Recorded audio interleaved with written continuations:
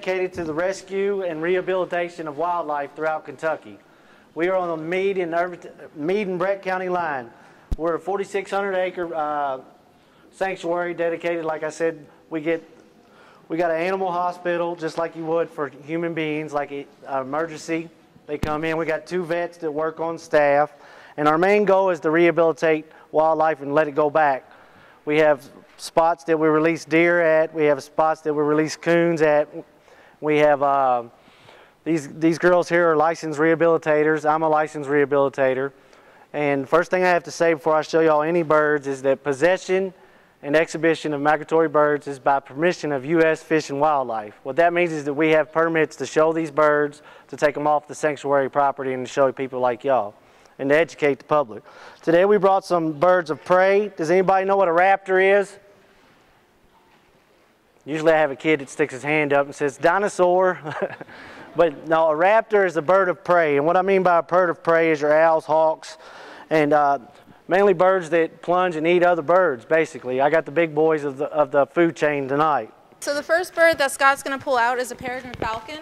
Her name is Loki. Now peregrine falcons are very common in the United States, as well as in Kentucky, obviously. Uh, they are the fastest bird species on the planet. They can hit speeds of up to 240 miles an hour in a straight dive. They're not going to be cruising through the sky with your 747s or anything. But if she was perched on a high skyscraper or a tall tree and she saw a rabbit run across the field or a sparrow fly across the sky, she'd be able to dive down to that prey item at 240 miles an hour and pluck it right out of the sky.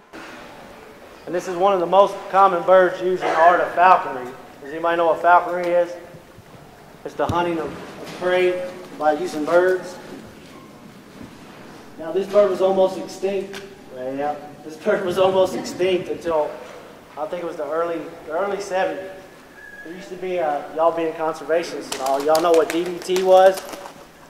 DDT got into the streams here, and it made these birds, along with the eagles, get on the endangered species list because they couldn't hatch. They could have eggs, but they was too thin to actually hold up and hatch. So what happened was some falconers got together and they, they paired these birds up, and she is now completely off the endangered list, along with your bald eagle. And of course, we quit using DDT. All right. Any questions on Loki? No? We'll pull out MJ next. The next bird that we're going to pull out for you is another falcon, an American kestrel. This is mama. Now, American kestrels are one of the smallest falcon species on the planet. And you'll see what I mean when she pulls her out. She, this is a full-grown falcon. And she has a very unique job with us at Broadbent. If we get in a clutch or a group of baby American kestrels, we can put them in the same uh, enclosure as mama here, and she'll actually help teach those babies how to pick up food, tear food up on their own without having to have human interaction. Because if we get in a bird or of an owl, hawk, eagle, songbird, what have you, if we get in a bird and we have to constantly go in there and hand feed them every 15 to 20 minutes or every three to four hours, that's a lot of human interaction that otherwise wouldn't happen in the wild. So with mama here, we're able to completely eliminate most of, most of the time the human interaction with the baby kestrels, which great, greatens their chances of being released into the wild successfully. You gonna talk for them? Nothing? Again, this is your full-grown American kestrel. Off, more commonly known around farmers is sparrowhawk.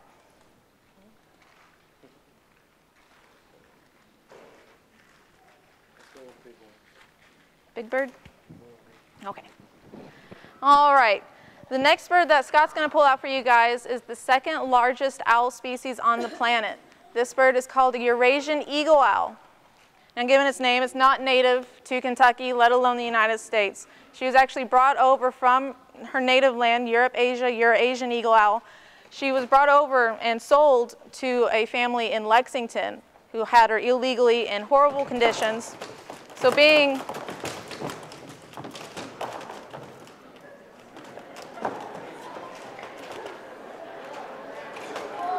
So being that being that she's not a native bird in the United States or Kentucky, it would be highly unethical to re release her into the wilds of Kentucky. So with that being said, that's how we were able to get our permits to house Athena.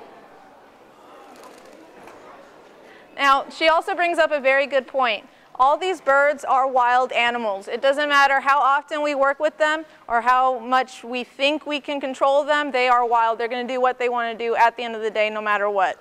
Athena has a five and a half foot wingspan.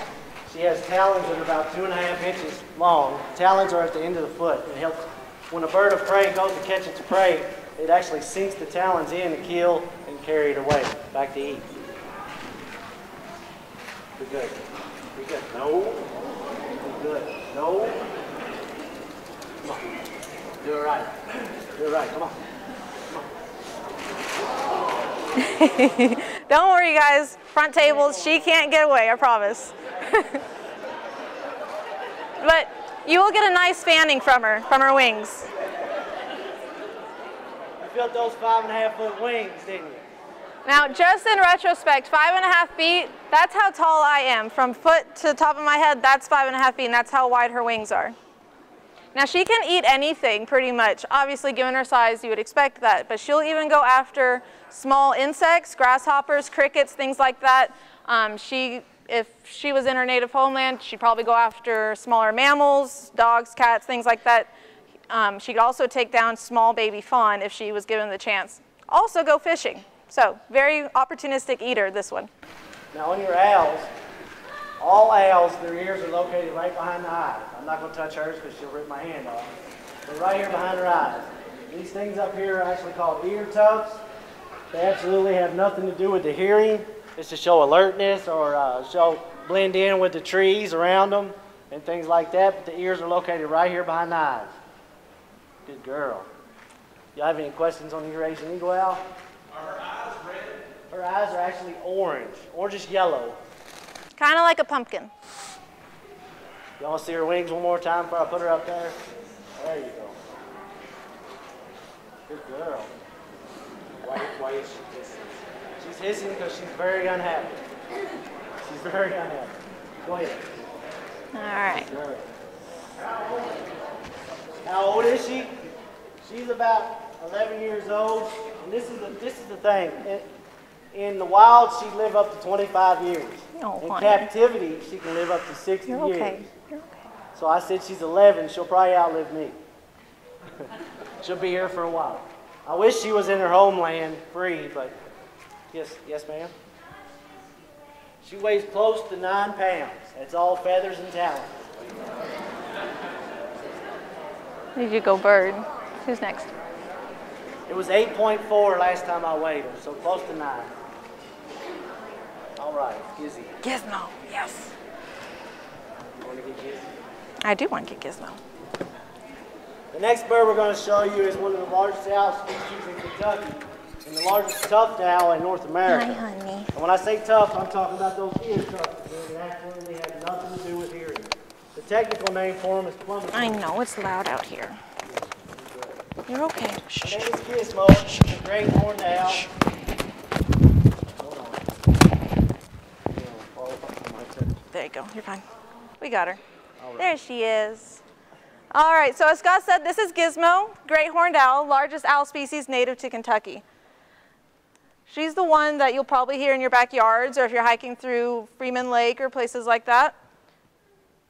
Gizmo has a very unique backstory. So I was talking to you guys earlier about Mama and how she helps eliminate the human interaction when they come in as babies. Well, Gizmo actually came in on, with a group of owlets or in her clutch. The rest of her family was released successfully. Gizmo was also released. When we release our birds of prey, we will put a microchip in their chest right here, and that's just to help identify them if Fish and Wildlife catch them or another rehabilitator catches them. They're able to locate that chip and identify this bird, find out where she was, who worked with her, and so on and so forth. So when Gizmo was released, she would go to people's houses. She would go to people's porches, farms, barns, places like that, looking for somebody to feed her. Again, the human interaction kind of dwindled her ability to survive because if she was to land on the wrong porch or the wrong farm, somebody would take it upon themselves to get rid of the owl. So when we released her, we released her three times. She came back all three times. At that point, we realized she's too attached to people. She can't, she's refusing to hunt on her own, so that's why she's here with us now. Yeah? No, nope, nope, nope. Yeah. Those talons feel good. Now, again, even though she's very used to people, she's still a wild bird. I'm gonna see if I can get her to talk a little bit for you. It always happens. Want to talk? Want to say something to him? Talk to him. Tell him about it. Come on. You got stage fright? He's got stage fright, sorry. Usually she'll hoot for you, but that's a lot of people out there, so. Come on, say something. Talk. Nope. Come on. Good girl. Good girl. If it wasn't for her lack of ability to hunt for herself, she would otherwise be a relatively successful owl out in the wild. She can fly, she can grab food. She almost tore my hand off there. But the fact that she will always go to people for food is why she can't successfully be released, which is what we try to avoid as much as possible. Hence, when we can find a surrogate to help us with that, we use it to its fullest potential.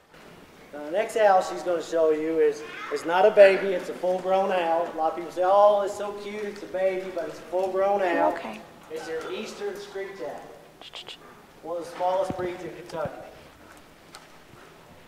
His name is Ear. He gets his name from the same plumicorn as these guys have. little bird. Get up there, Mr. Ear.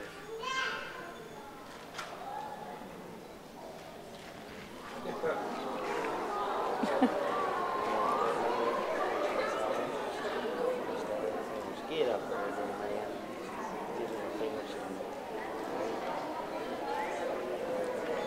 There he is. There you are. so again, this is ears, eastern screech owl. Eastern screech owls are the fourth smallest owl species on the planet. So believe it or not, there are actually three owl species that are still smaller than ears, full grown. That would be your saw-whet owl, your uh, pygmy owl, and your elf owl. Do you have any questions on the eastern screech owl? Yes, sir. Yes, sir. A lot, of, uh, most of your owl species are night hunters. Um, the reason being is their their adaptations made it a lot easier for them to hunt. So they have the bigger eyes that help them to draw in more light at night when there's very little. Um, also, they have excellent hearing. So Scott mentioned earlier that their ears are located behind their eyes. A lot of owls will have a facial disc. So Gizmo has what looks like sunglasses just right there. Well, later when we get to our barn owl and our barred owls, they have a full facial disc. And what that disc does is help to amp, when the sound hits their face, it helps radiate it and amplify it out to their ears to help them hear a little bit better as well. Now, the peregrine falcon is, is what they call diurnal. Your peregrine falcon, your hawk, your eagle, and that means they hunt during the day. All your owl species, like she said, are nocturnal. And the owl can turn its head 270 degrees each way. And the only reason why it can do this is because it cannot move its eyes from side to side. An owl's eyes are fixated straight all times. That's why it can move its head so far around. She's even looking. Questions on the little owl? You ready? Do you know how old she is? Ears has been here a lot longer than I have. I've worked here for five years. I think Ears has actually been with us. As you can see, his right here, his, his left wing droops further than his right. That's why he's with us, and hence educational bird. Uh, I'd say he's probably around 12 or 13 years old. Any other questions on ears, the eastern screech owl? All right. All right. All right, let's show him a hawk. Show them a hawk. The next is one of the most common hawks you see in Kentucky. You'll see them on your power lines. You'll see them uh, basically in your backyard. Some people call them a chicken hawk. I call them a red tail hawk. Her name is Baloo. Like the Jungle Book. Be good now. Come on. Come on. No, no, no. Come here. Reach your wings. There we go. Hey, hey, hey. All right. So again, this is Baloo. She's a red-tailed hawk, more commonly known as a chicken hawk in some areas. She's the one that you, again, will see perched on power lines. If you're driving, say, from Elizabethtown up to Louisville and you're taking 31W, there's a good chance you'll see at least three or four of these birds perched on power lines or in the trees or on fence posts and places like that. A red-tailed hawk can see, if she's sitting on a power line, she can see a mouse about a half mile away in the field. That's from the old, that's the old saying, I'm watching you like a hawk. That's where it comes from, right there. You can always tell red-tailed hawk too by the brick red tail. Now, a lot of times in captivity, a bird in captivity, no, A bird in captivity would come down with something like bumblefoot. Uh, birds of prey are not meant to stay on the ground for an extended period of time, but when we have birds with old wing injuries, it's almost impossible for them to get off the ground for a good duration. So they're grounded. And when that happens, all the extra weight and all the bacteria and things getting under there, that's why it's important for us as rehabilitators to make sure that their environment is clean as possible. We will have to check their feet for bumblefoot, which is kind of an infection. You get it in your chickens as well, and the only way to really successfully get it out is to pluck it all out and hope that doesn't come back. What she's let me do, well, actually, well, she taught me how to do it, is I can check her feet by letting her show me. I'm not going to shake hands with a hawk, so if you ever see a, a hawk in the wild, kids, don't touch it, don't try to shake its hand, because this bird will hurt you. Let me see this one. Let me see this one. This one first. Come on. No. No. Let me see it. What I'm doing is I'm looking for sores on the bottom of her feet. Now, if she wanted to, she could get me real good. Good girl. Let me see this one. Let me see this one?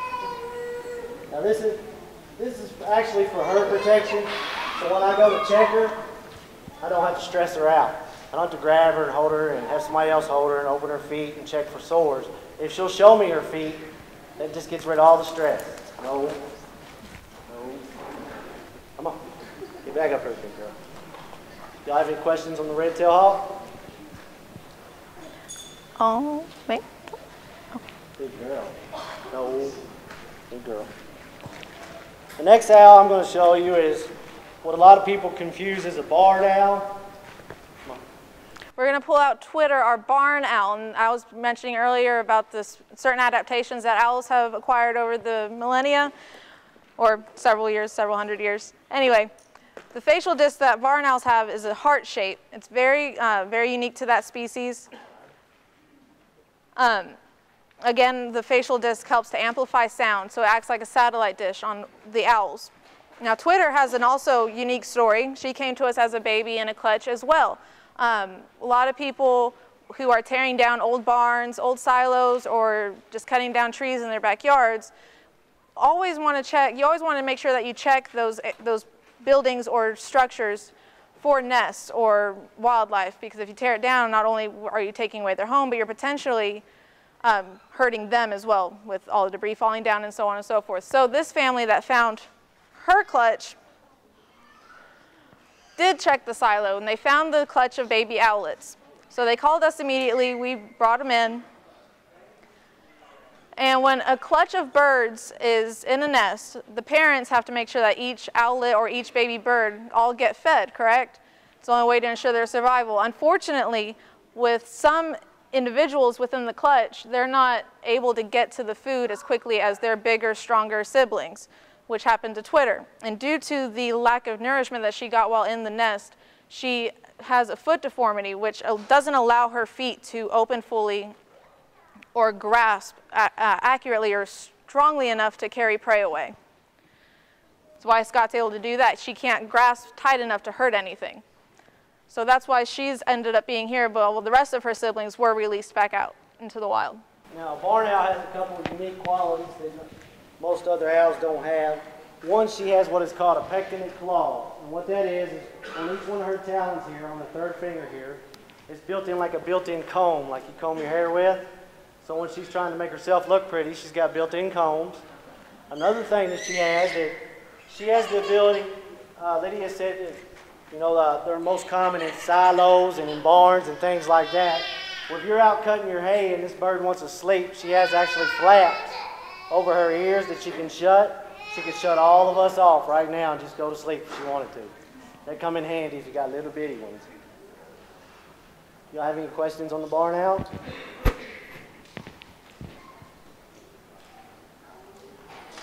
a lot of people, in it? Yeah. All right.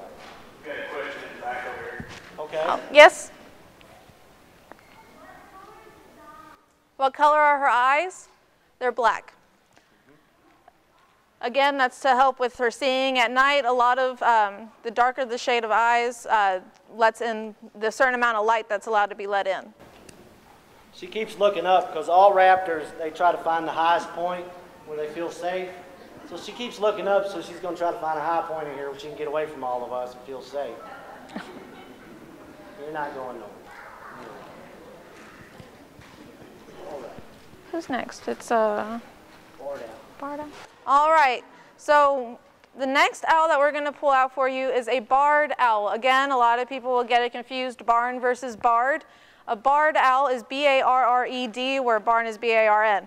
So if we get a call and you say it's a barn owl, we drive out there and it's actually a barred owl. It doesn't really change anything, but that's what we can use that as an educational point as well.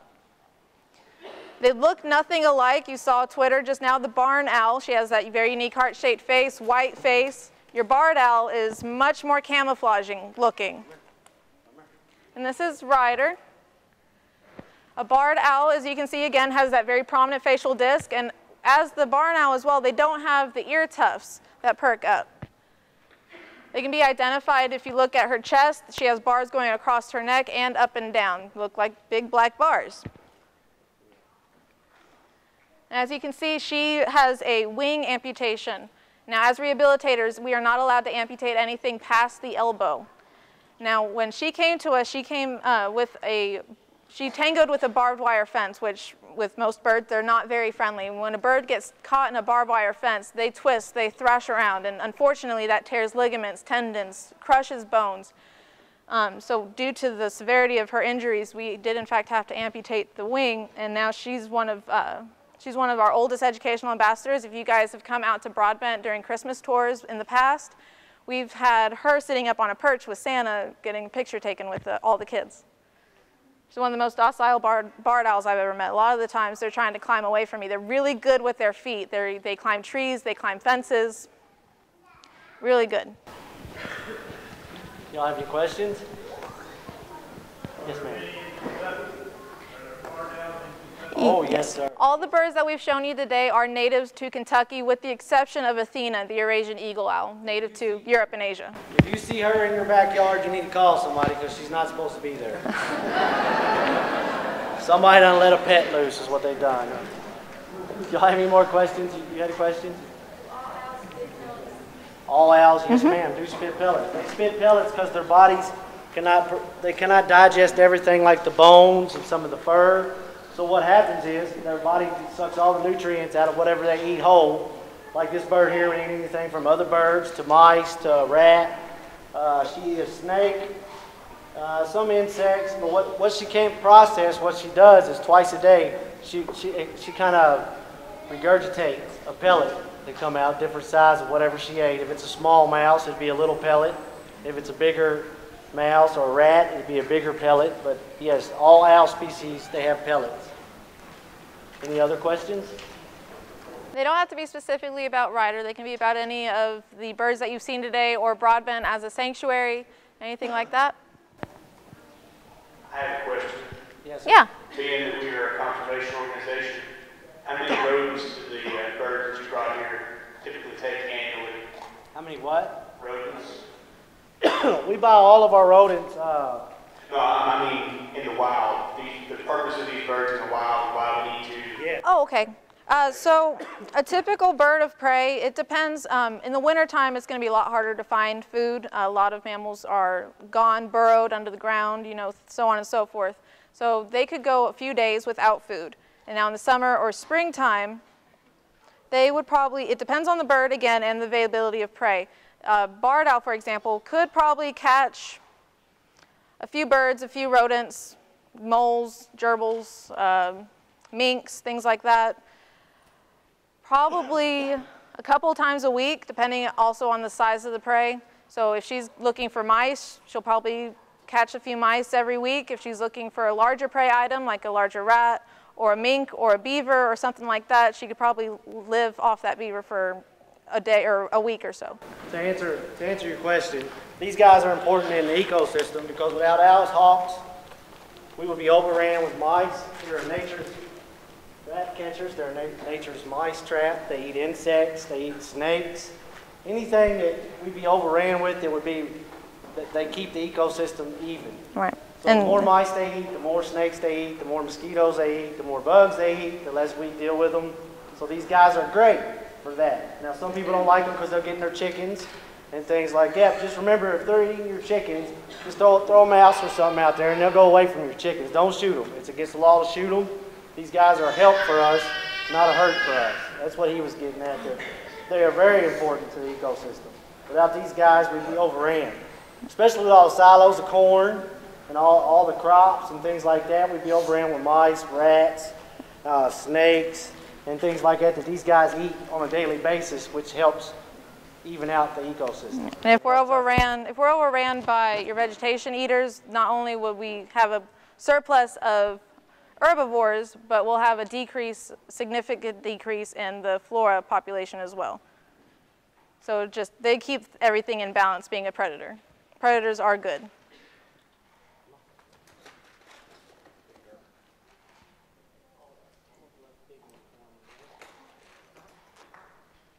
Any other questions about Broadbent or what we do specifically on a day-to-day basis at the sanctuary? Y'all want to see the big owl on the glove again? Why you wear it too? Well, I wear it too because, like, if if you remember me saying, she has two and a half inch tap. You hear you barred out? There you go. She's talking to us now. She has two and a half inch talons, and this is my training glove. I don't know if you can see it very well, but those are all from talon marks. I train these birds an hour every day. That's my job. Training that bird an hour. To try to get it to sit up here, be able to show y'all like that, and get on the glove where you can get a closer view. When I, when I do an eagle or a an eagle owl, I have to double the glove up because she would tear my arm completely in pieces without even trying. So that, that's why the two gloves. You gonna be good? Be good. Do it right. Do it right. Be good girl. Come on. Come on. Come on. Good girl. Good girl. Yeah, all right, honey. Eurasian eagle owl. Show me your wing. Come on. Good girl. You got any questions on her before I put her up? She has a better attitude. No. Own. No, no. This is this bird and I have a we have a mutual agreement. She wants to bite me and I know it, but she lets me handle her. Go ahead. Come here. Come here. Good girl. She's very aggressive. None of these birds are pets. They will still bite. They will still hurt. They're still wild. You know, our, our goal is not to make them pets, but to just get them where we can take them and show them to people like y'all up close. Scott, you said someone outdoors and that? Mm-hmm. Someone actually purchased her on the black market as a pet. It's not illegal to purchase them on the black market. It's legal to have them. I might have said that backwards. It's not illegal to have them, but it's illegal to purchase them. But once you have them, see, that's where the black market laws need to be better looked at. Is they can buy a thing, they can buy creatures like Athena and have them in a little bitty, bitty cage where she can't even open her wings in their living room thinking it looks cool. You know, this bird needs a mew. Her mew is about 22 foot by 30 foot. And It's about 18 foot high. That means she can fly and go back and forth and fly around as much as she wants. She can spread her wings. Now, our, her true happiness would be in the wild over in Europe and Asia. But we try to do the best we can to provide a good home for all of our uh, animal ambassadors. Any more questions on her? That brings up a good point. We do what we can for all the animals, not just the educational birds, but everything at Broadbent, from food to medicine to the enclosures, keeping up with the enclosures, building new enclosures, is all funded through public donation. We are a certified 501c3 facility, so any amount of donation, you can go online, uh, broadbentwildlife.org, or you can go to our Facebook page, or call the 4200 number on these brochures that you guys are more than welcome to take and call, make a donation, go online, make a donation, things like that. It all benefits the stability of Broadbent as a sanctuary so that we can continue to so we can continue to care for and maintain the sanctuary and care for the animals and release back as many as we can. Now we don't just do birds. We do mammals, reptiles, amphibians, and birds. Birds, songbirds, raptors, rabbits, raccoons, possums, deer, um, basically any type of wildlife that's native to Kentucky we can work with. So if you guys ever find anything, it's always important. First, identify what's going on. If it's a baby deer just laying in a tight circle and some bushes or in a tree line, give it a little bit. See if mom comes back. Mama deer only feed their babies two to three times a day. And the, while she's not there, she's off foraging for herself, looking for a new spot to take her baby. So if the baby's just tightly wound up in a little ball, leave it alone for a little bit, see if mom comes back. Once, once it starts to stand up and cry, not only is it giving away its position via sound and sight, so predators can find it now. So once it starts making noises and walking around, that's when you can call us and we'll figure out a way to get to it or have it brought to us. But any wildlife you come across, especially we, we stress this for the young ones, is do not touch it. Yeah. Even baby cute little raccoons, the cutest little raccoon you ever saw in your life, can have rabies. You see, so don't touch it. Tell mom and dad. Have them contact Fish and Wildlife or call us. We brought brochures up here, like Lydia was telling you, to show you a little bit about what we do. There's some pictures of baby deers in there, and uh, we're basically, if, if you find a hawk that's injured, you call us. We'll come out and pick it up in one of our vehicles. If, if you're not on the other side of Kentucky, we try to have people help us out now, but we were going all over the state of Kentucky with ambulances picking up hurt wildlife. If a bird comes in, it's got a broken wing, we have a vet. We actually have two vets now, but we have a vet that's certified to go in and just like when you have that surgery on your arm, he'll go in, set pins in the wing, and, and, and you know, uh, cast it up, and hopefully with a little bit of uh, rehabilitation, that bird can be released back into the wild. So that's our main goal right there is to do that. Yep. But if we don't have to intervene, we don't want to intervene. So the baby deer lying in a tight little ball, it's always good to observe. Find out, see if you can find out what is wrong. Is it a broken leg? Is it just walking around in circles? Is it a broken wing? Is it weak looking or lethargic looking? If, some, if there's something wrong with it, obviously wrong with it, call us. But do a little bit of observation. See if it's just laying down sleeping, if it'll get up, walk away, or if you approach it, if it'll take off. Things like that. We don't want to intervene if we don't have to. You guys have any questions at all? Yes, ma'am. Yeah. How many different types? Well, that ranges from season to season. So in the springtime, which is coming up, baby season is what we call it, we can get anything from baby raccoons, possums, all the way down to your baby sparrows and wrens. We can have a plethora of different species, ranging from mammals, birds, amphibians, and reptiles. But in the wintertime, it's mostly, we get mostly birds and mammals, as far as I can tell from past. And we also have emus, ostriches. We've got one ostrich now. Oh yeah, we have farm We animals. with The Equine Society of Kentucky, we have 56 horses that are rescued. We have uh, anywhere from, a lot of people, you see online, a lot of people get these little miniature pigs. You see online, everybody wants a little cute miniature pig, but there's no such thing as a miniature pig. That miniature pig is eventually going to be 150 pounds in your living room.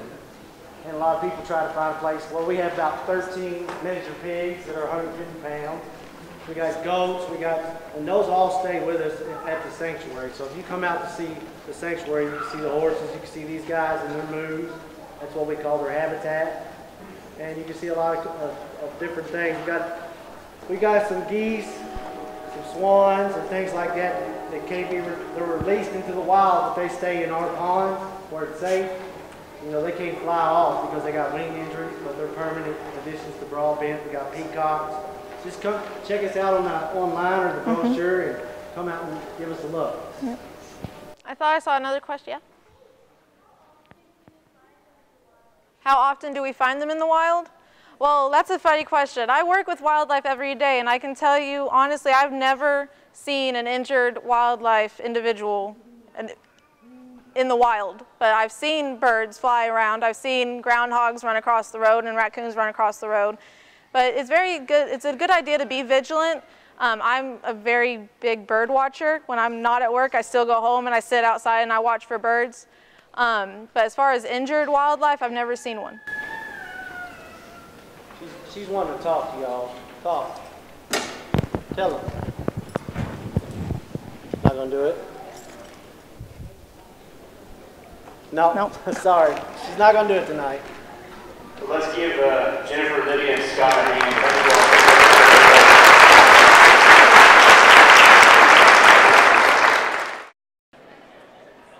I'm going to have Bruce Book come up. He's one of our supervisors, and he will be announcing some awards. Thank you, Bruce. Thank you. Uh, It is my honor to present the uh, school winners, the individual school winners for the Jim Claypool Conservation Art Contest. First up, we have Rineyville Elementary. Uh, Second runner-up at Rineyville Element- Elementary is Mr. Toby Varble. Toby is a fourth grade student at Rineyville Elementary and is the proud student of Miss Courtney Howard. Toby loves to build robots and play baseball. Is Toby here? All right. The first runner-up is Miss Taya Bruner. Taya is a fifth grade student at Rineyville Elementary and is a student in Miss Henderson's class. Taya loves reading and drawing and writing. I believe this is Taya on the way.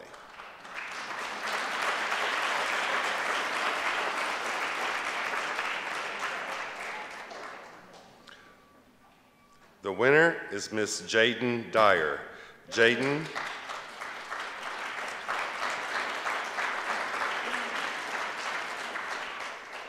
Jaden is a fifth grade student in Miss Mills' class at Rineyville Elementary. The award is presented by Jacoby Sales.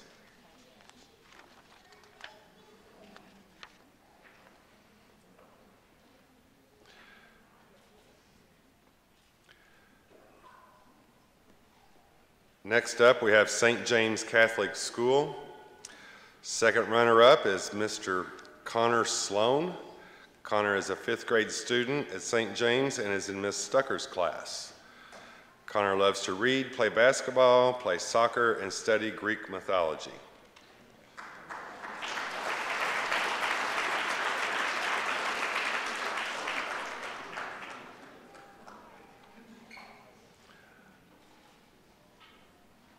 The first runner-up is Mr. Trey Stucker. Trey is a fifth grade, fifth grade student in Miss Ballard's class at St. James. Trey is on the SJS archery team, 4-H livestock, and shooting sports club.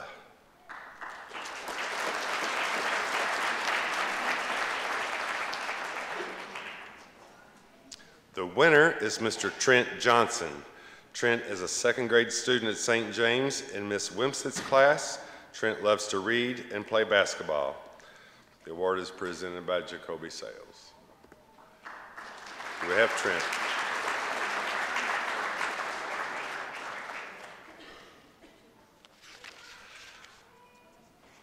Our next school is Lakewood Elementary.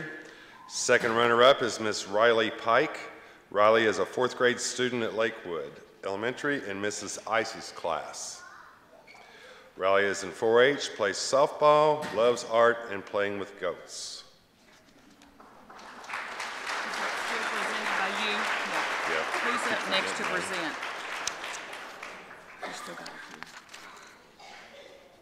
Ken, Ken Adams. The first runner-up is Miss, and I'm going to mess this one up, Inyan Marshman, a fourth grade student at Lakewood in Mrs. Ice's class. She loves cooking and playing volleyball.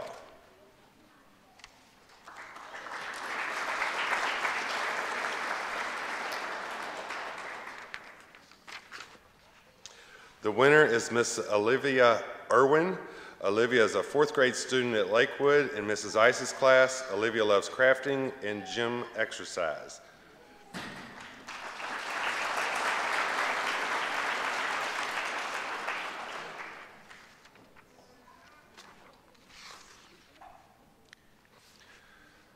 The next school we have is Heartland Elementary. Second runner-up is Miss Elise Keister. Elise has unfortunately moved to Colorado. She was a student in Miss Emmons' class, and her prizes will be mailed to her. The first runner-up is Mr. Peyton Bowers. Peyton is a fourth grade student at Heartland Elementary. In Miss Miller's class, Peyton likes drawing, gaming, and loves to play soccer. The award is presented by Magnolia Bank, presented by Mr. Ken Adams.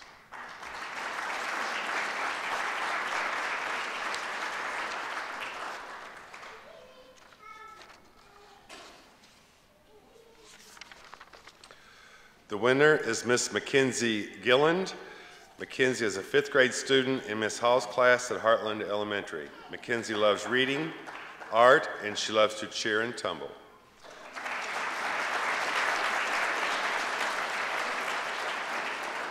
Mackenzie is a cheerleader at Central Kentucky Athletics. The award is presented by Magnolia Bank.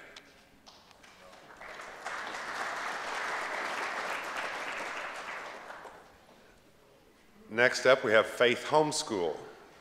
First runner-up is Mr. Brady Pike.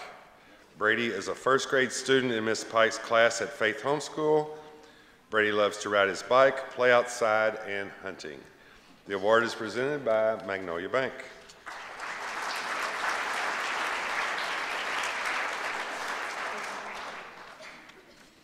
The winner is Miss Jenna Pike.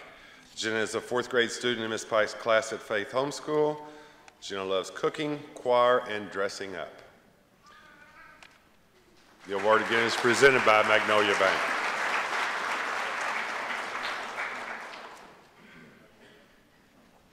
With Creekside Elementary. Second runner-up is Miss Ashley Lowe. Ashley attends Creekside Elementary and is a fifth grade student in Miss Bronner's classroom.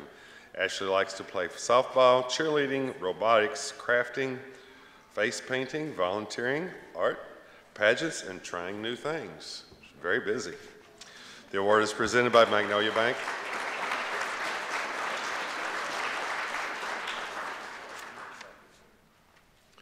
First runner-up is Miss Addison Phillips. Addison is the first grade student of Miss Sharon at Creekside Elementary.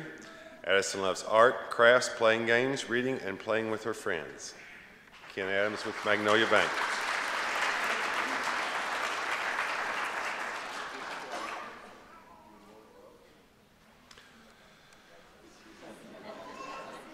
The winner is Miss Sadie Atcher.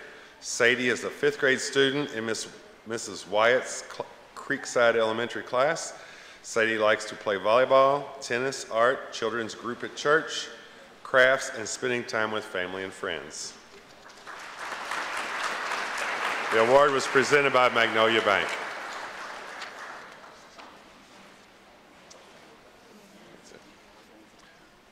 And would Lindsay Bridges come up, please? The next school is Meadowview Elementary.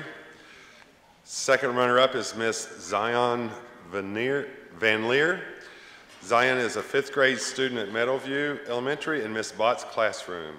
Zion loves drawing and painting. The award is presented by Farm Credit Services and Miss Lindsay Bridges.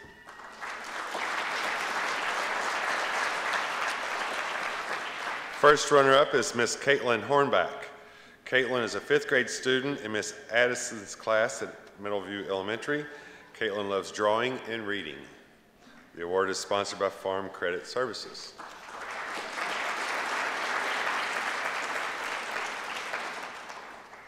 The winner is Miss Peyton Drum. Peyton is the fifth grade student in Miss Bott's classroom.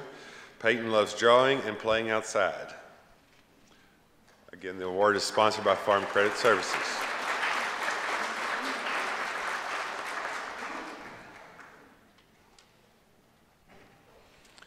Next, we have Vine Grove Elementary. Third runner-up is Miss Alina Perez. Alina is a fifth grade student in Miss Cecil's at Vine Grove Elementary. Alina enjoys arts, crafts, reading, and drawing. The award is sponsored by Farm Credit Services.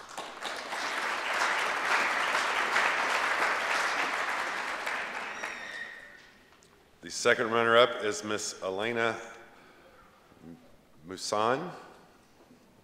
Elena is a fifth grade student in Miss Vlad's classroom at Vine Grove Elementary. Elena enjoys drawing, reading, Girl Scouts, bowling, loves school, and family time. The award is sponsored by Farm Credit Services.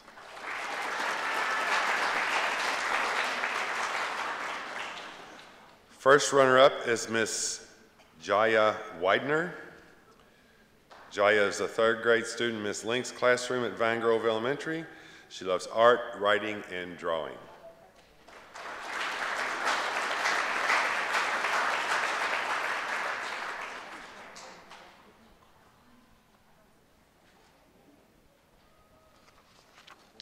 The winner is Miss Morgan Hunley. She is a third grade student in Miss Johnston's at Vine Grove Elementary. Morgan loves cooking, art, shopping, dancing, and singing. The award is sponsored by Farm Credit Services.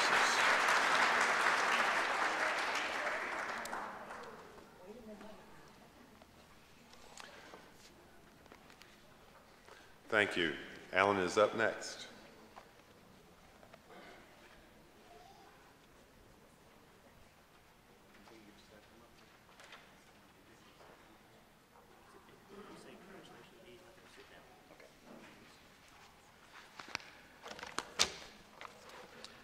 If you would, can you give a round of applause to our winners?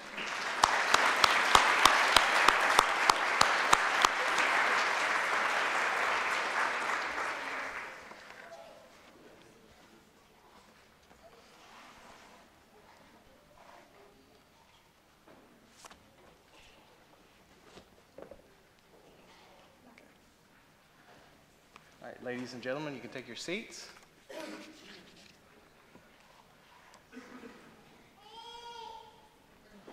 One more picture or two here.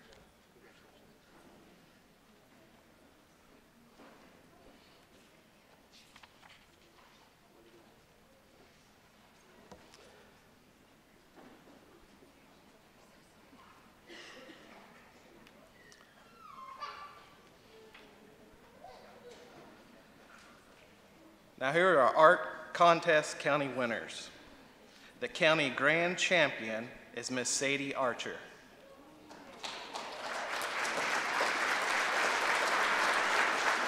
Sadie is in the fifth grade student of Miss Wyatt's at Creekside Elementary. Sadie loves volleyball, tennis, arch, children's group at church, crafts, and spending time with family and friends. This award sponsored by the Hardin County Conserva- Conservation District and Kentucky Farm Bureau.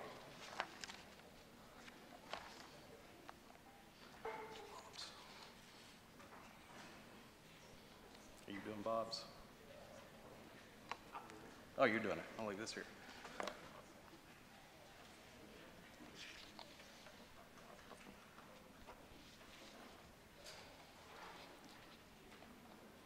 Next, we're going to be giving the award for the Jim Claypool Conservation Essay Contest.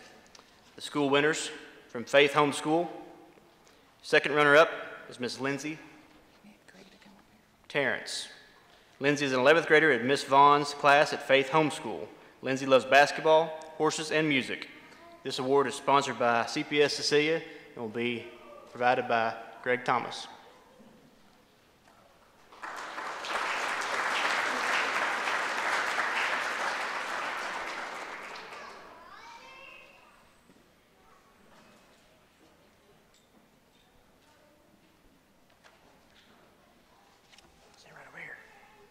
Your first runner-up is Mr. Caleb Smith. Caleb is an 11th grader in Miss Vaughn's class at Faith Homeschool. Caleb likes Brazilian, Jiu-Jitsu, math, science, and engineering. This award is also sponsored by CPS.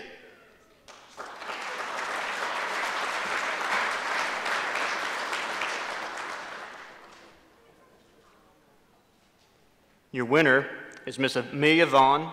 Amelia is an 11th grader in Miss Vaughn's class at Faith Homeschool. Amelia loves reading, cooking, and drawing. Again, sponsored by CPS Cecilia.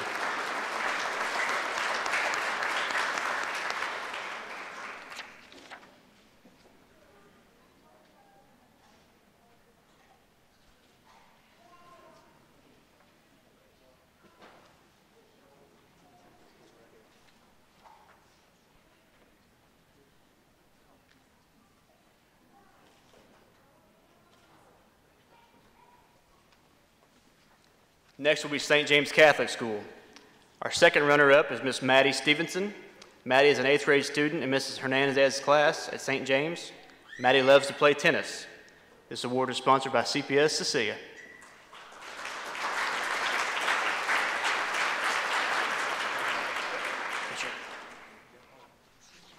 First runner-up is Miss Emmy Redford. Emmy is an eighth grade student in Miss Hernandez's class at St. James. Emmy loves to play tennis.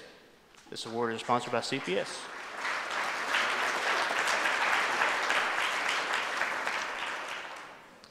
The winner is Mr. Nate Jarbo. Nate is an eighth grade student in Miss Hernandez's class. Nate loves to study science, specifically aeronautics and rocket design, shooting archery, running cross country, and participating in quick recall.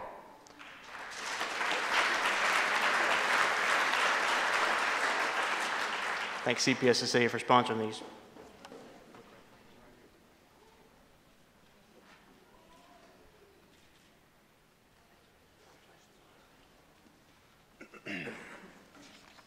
Next will be from North Hardin Christian. This is sponsored by Southern States and will be provided by Trish Carden. Our second runner-up is Mr. Christopher Moore. Christopher is a ninth grade student in Dr. Hunt's class at North Hardin Christian. Christopher loves to play chess, checkers, Lego games, collect Legos, read books, and volunteer at the American Red Cross. I don't think he's here today. Congratulate him anyway. Our first runner-up is Miss Jessie Johnson. Jessie is a 10th grade student in Mr. Oxford's class at North Hardin Christian School. Jessie loves reading, running cross country, baking or cooking, and spending time with friends and watching movies with friends.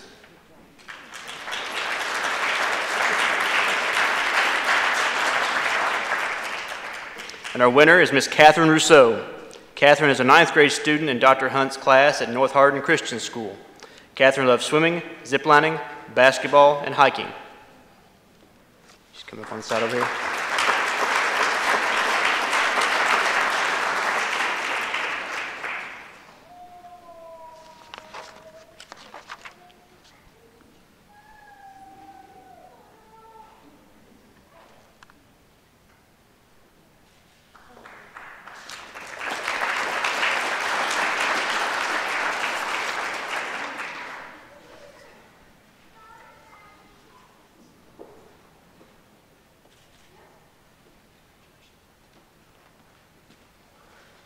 Next is West Hardin Middle School.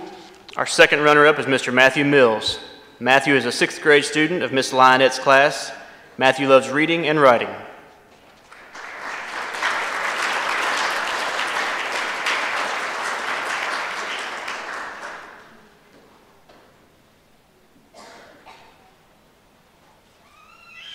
First runner-up is Megan Puckett.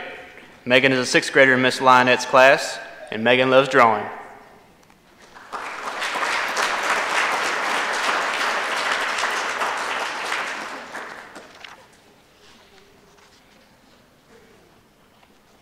And our winner is Miss Justice Anderson. Justice is a seventh grade student in Miss Meredith's class. Justice enjoys karate and loves playing the clarinet and band.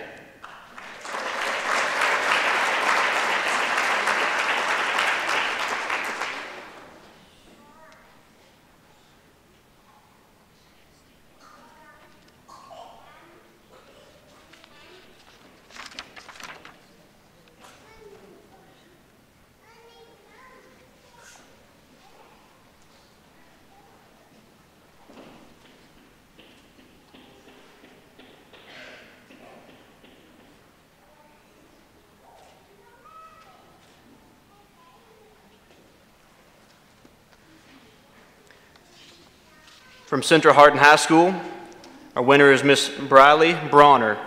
Briley is the 11th grade student of Miss Cannon. She enjoys playing basketball, soccer, hunting, fishing, and cooking. This award is sponsored by Cecilian Bank, is going to be presented by Mr. Stephen Jones.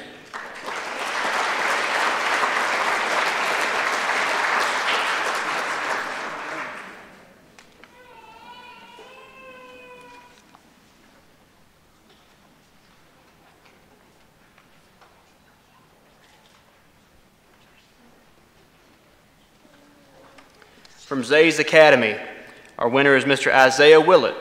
Isaiah is the seventh grade student in Miss Willett's class at Zay's Academy. Isaiah enjoys skateboarding, reading, and Pokemon.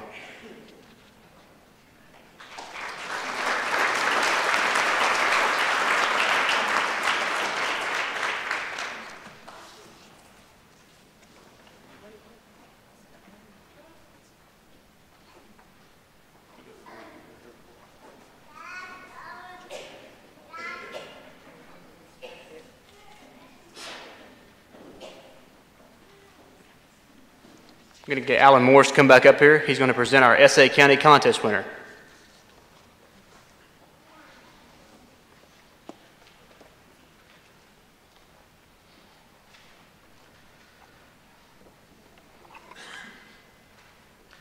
The county grand champion is Miss Amelia Vaughn. Amelia is an 11th grade student at Faith Home School and is the proud student of Mrs. Vaughn. Amelia enjoys reading, cooking, and drawing.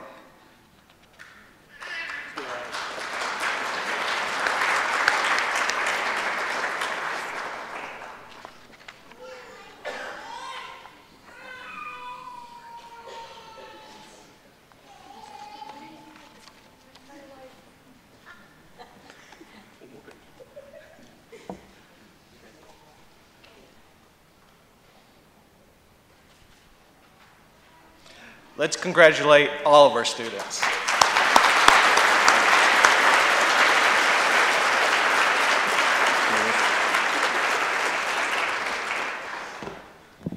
The Hardin County Conservation District has been, been supporting the youth of the community for many years. I asked earlier how long they had been doing their um, agriculture and natural resource scholarships, and Mr. Glenn says it's been 20 years or longer. So I uh, commend that, and again, we love to su support the youth in our community. So as I call your name, please come forward if you're here. Miss Caitlin Tucker, is from Central Hardin High School. She will be attending Western Kentucky University and majoring in ag education.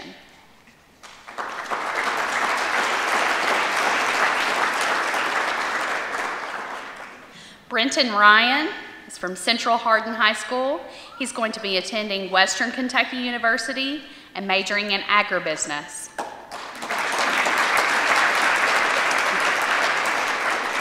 Garrett Hatfield is from Central Hardin High School is going to be attending Iowa State University and majoring in agribusiness.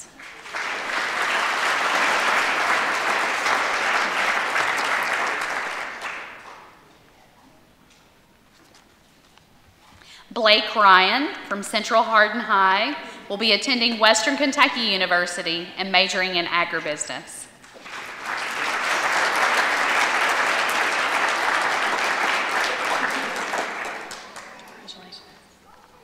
Benjamin Thomas from Central Hardin High School, will be attending ECC and Technical College, majoring in agribusiness or general agriculture.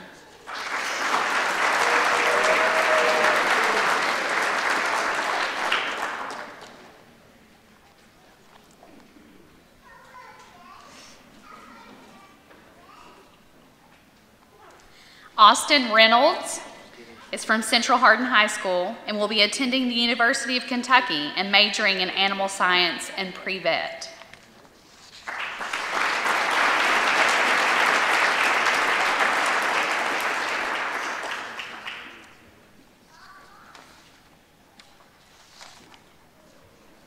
Leslie Langley, attending Western Kentucky University and plans to become a 4-H extension agent.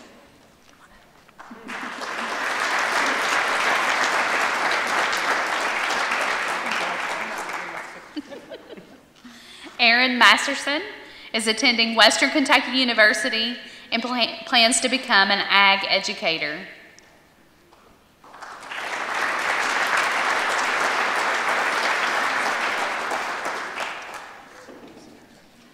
Madeline Meek is attending U of L and transferring to Western Kentucky University in the fall and plans to become an agriculture teacher.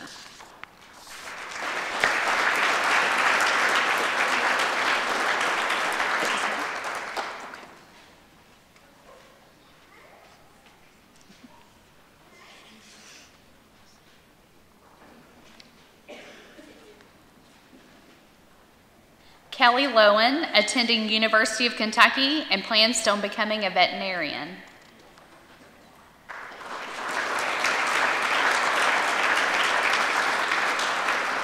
Brianne Williams attends Western Kentucky University and plans to become a soil conservationist.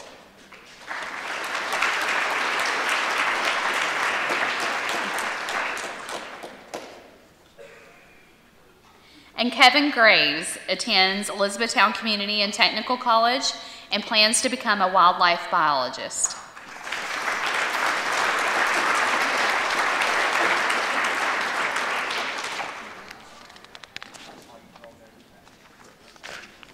Thank you and congratulations to all of our scholarship recipients.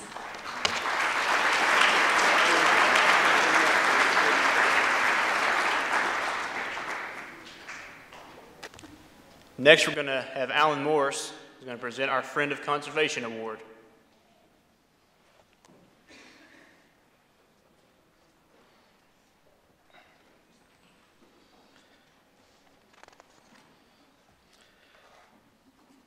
The American Heritage Dictionary defines friend as a person who knows, likes, and trusts, and one who supports or sympathizes with a group, cause, or movement. Tonight's recipient of the Friend of Conservation Award definitely fits that description, Mr. Byron Nelson. This year's award is being given to Byron Nelson due to his volunteering services with the Hardin County Conservation District. Byron has worked for the Division of Forestry for 15 years, with four and a half of those years being a regional forester. During those 15 years, he has helped hand out tree seedlings for the Hardin County Conservation District and participated in Meade, Breckinridge, and LaRue Counties tree seedings giveaway as well. Byron was a ranger for 10 years in Hardin, Meade, and Breckinridge counties. In fact, he received Ranger Inspector of the Year two years in a row. He's also done more logging inspections than anyone else. He has also completed an EQIP practice with fencing through the Hardin County Conservation District. Byron grew up on a dairy farm, but since retiring in January of this year, has enjoyed spending time on his beef cattle farm. It gives us great pleasure to present Byron Nelson, this year's Friend of the Conservation Award.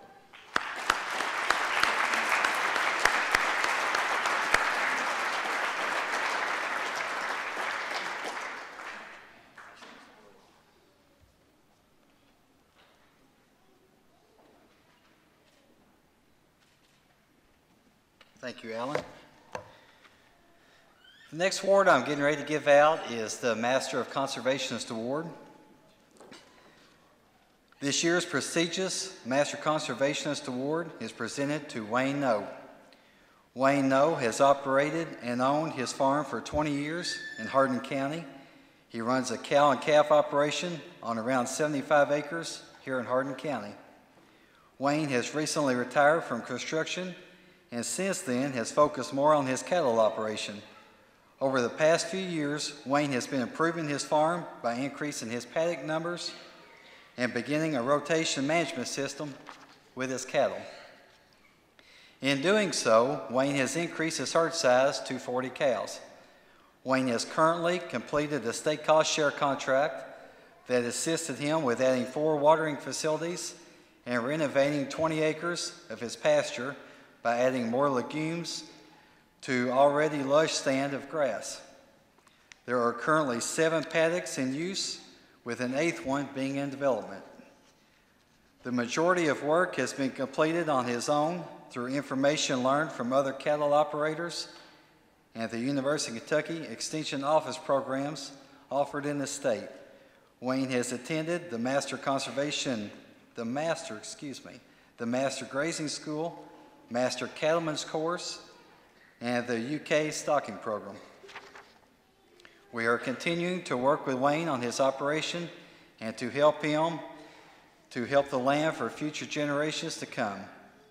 It gives us great pleasure to present Mr. Wayne Noe with this year's Master Conservationist Award.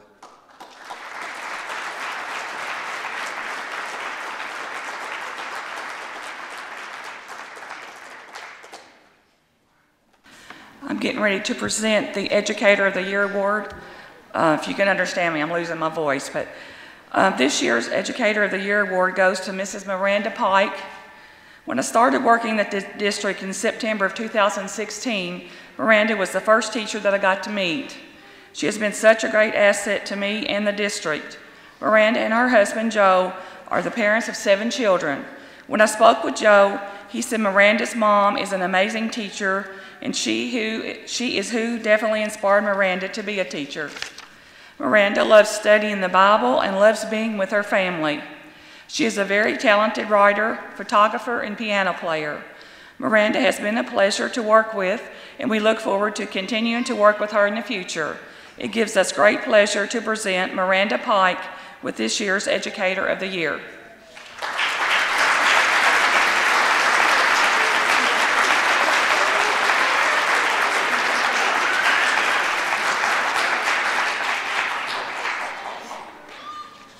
It's my pleasure to award the Embry Wildlife Award to Mr. Brian Mackey. I actually got to tour his operation a couple weeks ago. I was very impressed with the work that he has done, both through our programs and also on his own, of his own accord. I'd like to re recognize Brian. He's with Dixie Stock Farms. His dad started it in 1952 and rolled the ground in CRP starting in the 80s. They now crop 300 acres have 700 head of beef cattle and have 120 acres of hay and pasture land. They exclusively no-till all of their crop ground. They have two farms, which combine for 44 acres of filter strips. In 2015, they installed four and a quarter acres of native grass and forbs as a field border for quail habitat. In 2016, he planted 10 acres of native warm season grasses for quail and small game habitat. Also in 2016, he enrolled in CRP for a two to three acre shallow water area for waterfowl. He is an avid hunter and outdoorsman that takes pride in farming and caring for the land and the wildlife. It gives me great pleasure, it gives the district great pleasure to present Brian Mackey with Dixie Stock Farms with this year's Embry Lake Wildlife Stewardship Award.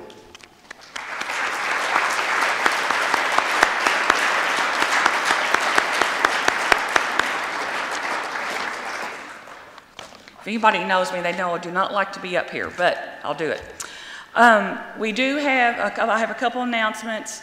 We have teachers' bags at the back. For all the teachers that I call for your t-shirt sizes, they're at the back table and they're marked. Uh, I do have some thank yous. Cheryl Peterson that works in our office has been a great help. Uh, love. Um, Cheryl Love. Uh, she's been a great help the last two weeks more than that. She's printed out a lot of stuff, helped me so much. I have two sisters here tonight, uh, Barbara McCamish and Wilma Ritchie, if they can stand up.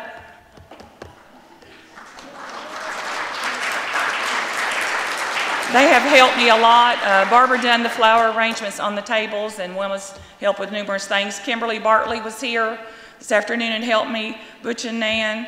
Um, I couldn't do it by myself, and I, I thank everybody that helped me. Um, the door prizes on the table are whoever's birthday is the closest to mine, which is June 21st, gets the door prize. So whoever at the table is birthday's closest to June 21st gets to take the, the cans. Make sure you take the, uh, the uh, rain gauges and ink pens and all that with you. Thanks, everyone. I'm sorry for it taking so long tonight. As everybody can see, we had a very large crowd. But thank you so much for your patience. Thank you for eating the food. And hopefully we'll see you all next year.